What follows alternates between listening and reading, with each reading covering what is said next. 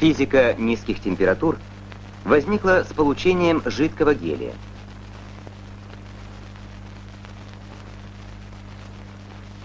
Основную роль в ней играет сверхпроводимость,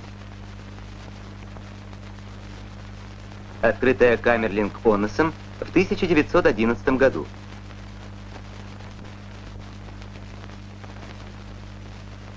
Изучалось поведение электрического сопротивления чистых металлов с понижением температуры. Исследовался образец ртути. Следим за изменением температуры. И вдруг при температуре, немного превышающей 4 Кельвина, электрическое сопротивление ртути исчезало. При повышении температуры сопротивление восстанавливалось.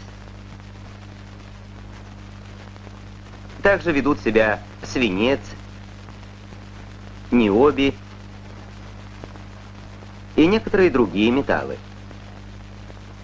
Открывались новые сверхпроводящие металлы, исследовались свойства сверхпроводников. Каждый из них характеризуется определенной температурой, при которой электрическое сопротивление исчезает.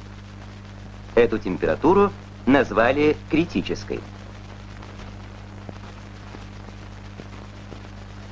Сопротивление исчезает полностью. Значит, в таком проводнике не будет тепловых потерь, и ток не затухнет. Убедимся в этом. Из свинцового провода намотана катушка, которую в жидком гелии можно замкнуть и отключить от источника питания. Пропустим ток через катушку. Вокруг катушки возникает магнитное поле.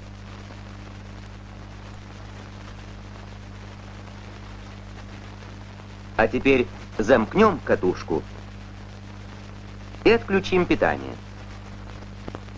Магнитное поле сохранилось. Опыт показал, что оно оставалось неизменным более двух лет. Обратите внимание, сфера из сверхпроводника висит над катушкой, по которой идет ток. В чем здесь дело?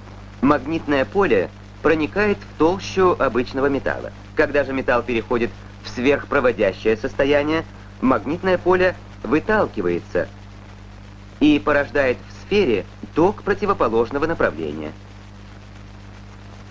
Как известно, противоположно направленные токи отталкиваются. Сила отталкивания может скомпенсировать силу тяжести.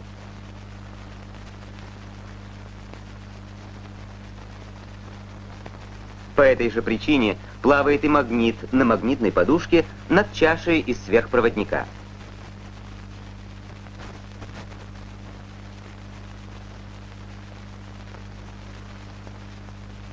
Какова же природа сверхпроводимости?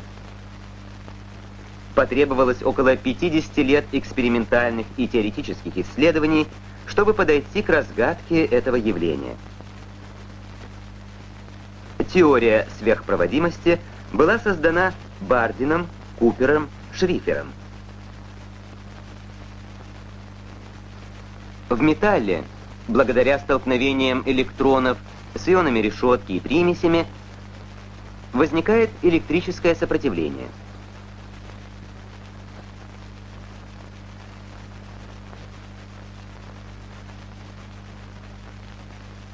При низких температурах в сверхпроводниках электроны не отталкиваются друг от друга, а притягиваются, образуя единый коллектив.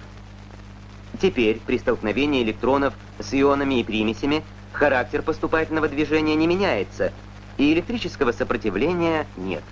Энергии теплового движения электронов недостаточно, чтобы разрушить это состояние.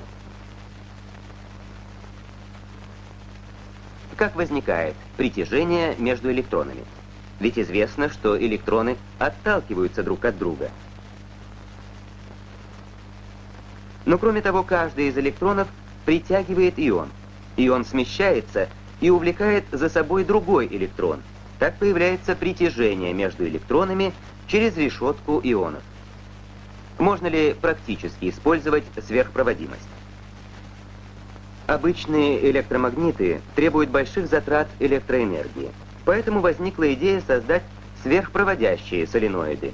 Но Оказалось, что в сравнительно небольших магнитных полях сверхпроводимость обычно исчезает. И температура соленоида резко повышается. Изучались и сплавы.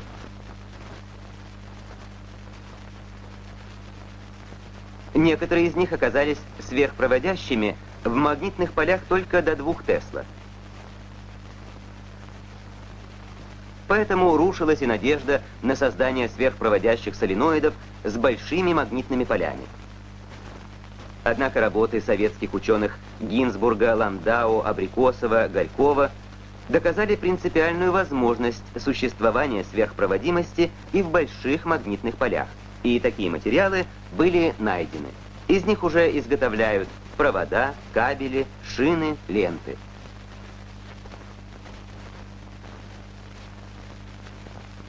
Теперь появилась возможность делать соленоиды, которые создают магнитные поля до 20 Тесла.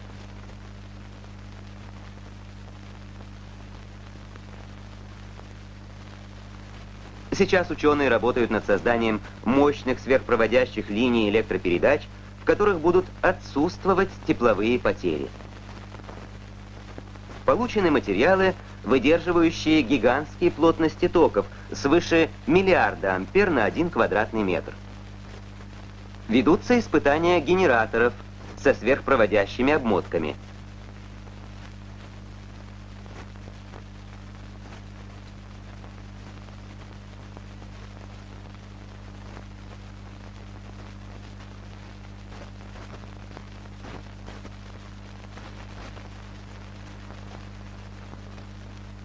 Ротор генератора охлаждается жидким гелием.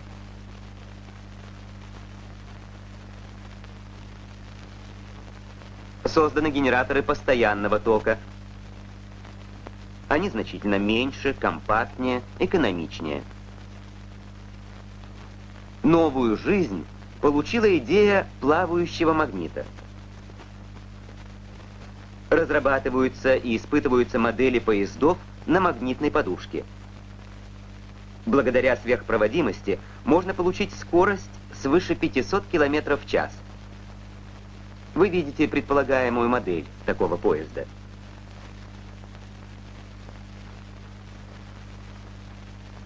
С помощью сверхпроводников можно сделать компактную и достаточно мощную магнитную защиту космического корабля от радиации. Такое магнитное поле надежно защитит космонавтов так же, как нас защищает магнитное поле Земли. Сверхпроводящий соленоид сохраняет энергию и может служить накопителем энергии.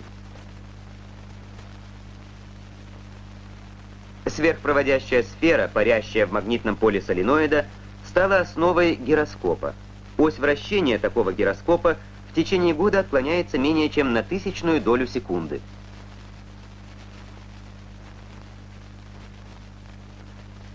применение сверхпроводимости резко возрастет при повышении критической температуры. Возможно, веществами с высокими критическими температурами окажутся органические системы. Идеи теории сверхпроводимости применимы в ядерной физике и астрономии. Оказалось, что протоны и нейтроны в ядре связаны друг с другом подобно электронам в сверхпроводниках. Аналогично связаны нейтроны в нейтронных звездах. В области физики сверхпроводимости нас ожидает еще немало удивительных открытий.